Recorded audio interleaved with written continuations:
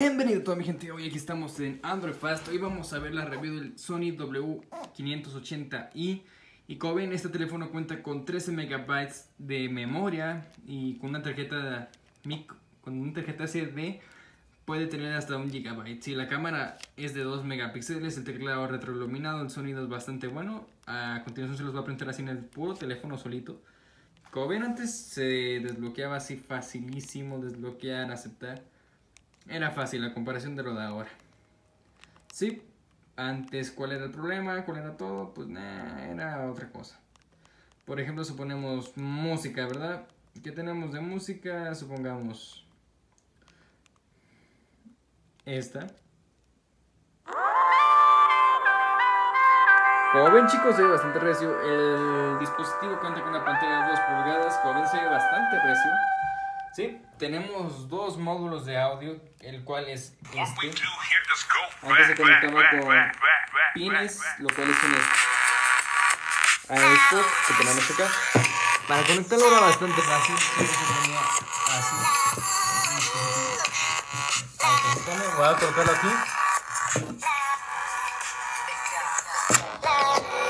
Como ven, se conectaba bastante fácil si quería llevar con reventón a todos lados. Lo cual se me hacía bastante chido. En ese entonces era como tener el iPhone XS Pro Max de 16 GB. En aquel entonces, luego conectándolo a estas bocinas que son extremadamente buenas para los que quieres son bajos. Como ven, yo lo escogí este color. Es bastante bueno. Lo que es prueba de lo vamos a seguir conectando de la misma manera con el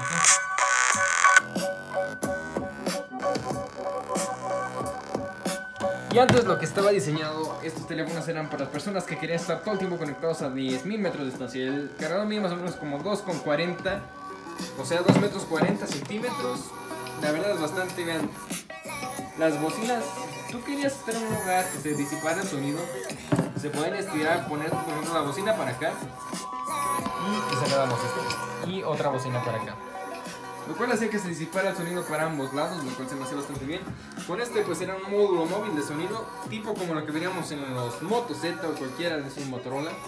Como ven, lo ponemos aquí. Y aparte de eso, la calidad de video de estos dispositivos es buena. Sí, es muy buena. La batería es de 800 mAh, el dispositivo es un W850i lo cual se me hace en serio una chulada, una barbarie, vean. El diseño es hermoso, a pesar de eso con, con teclado retroiluminado, laterales iluminados. Esto es diseño, para mí esto es diseño.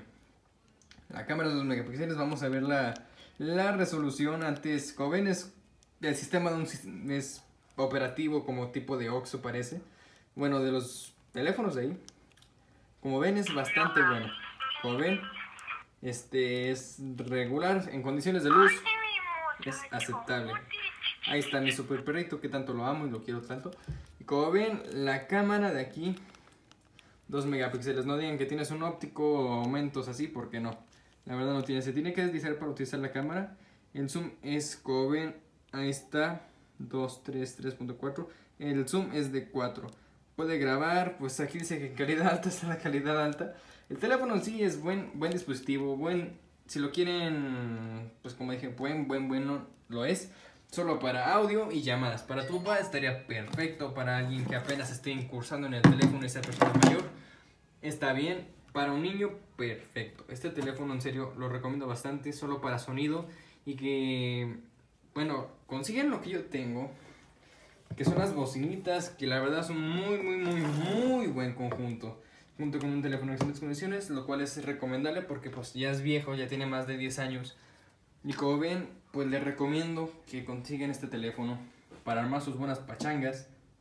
Y sí, en sonido es lo mejor. Suscríbanse al canal, aquí en Android Fast, como siempre les decimos, cuídense por eso del coronavirus. Y el cargador de 20.000 metros, es decir.